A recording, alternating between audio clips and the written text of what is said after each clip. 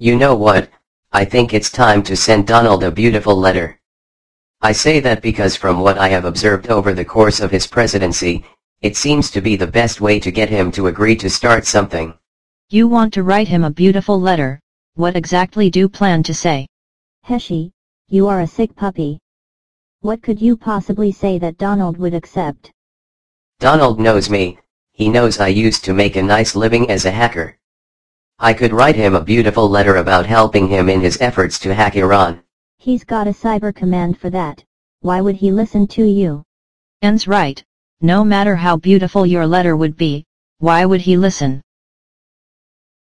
Look Donny Boy has a huge ego, you think he wouldn't want a little outside help to prove he knows what he's talking about, when he boasts about how he conceived the greatest hack of all time, besides I'm the guy that convinced him we needed a cyber force.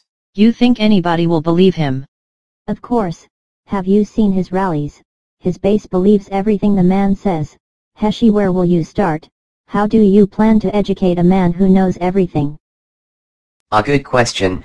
I will start by asking a few simple questions related to hacking, like what is the meaning of phishing when spelled P-H-I-S-H-I-N-G, of course you know what that is. Sure, it's a fraudulent email that asks the reader for certain information. Yes and when you reply it probably takes more from you than it asked for. Why would you think Donald doesn't know the answer to that question? Mainly because I don't think he's interested, it's not the kind of information that would help the greatest deal maker of all time. And how do you propose to get in to see Donald? Good question, and I love it. I already told you, I intend to do what Kim and Z did. I'll write him a beautiful letter.